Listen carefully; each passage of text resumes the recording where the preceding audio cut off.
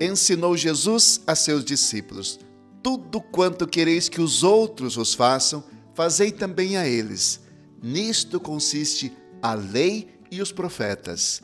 Como viver esse evangelho no dia de hoje? Jesus ensinava coisas muito simples. Cada próximo que encontro durante o dia, devo tratá-lo como gostaria de ser tratado por ele. Eu gostaria de ser acolhido com alegria, então começo acolhendo com alegria.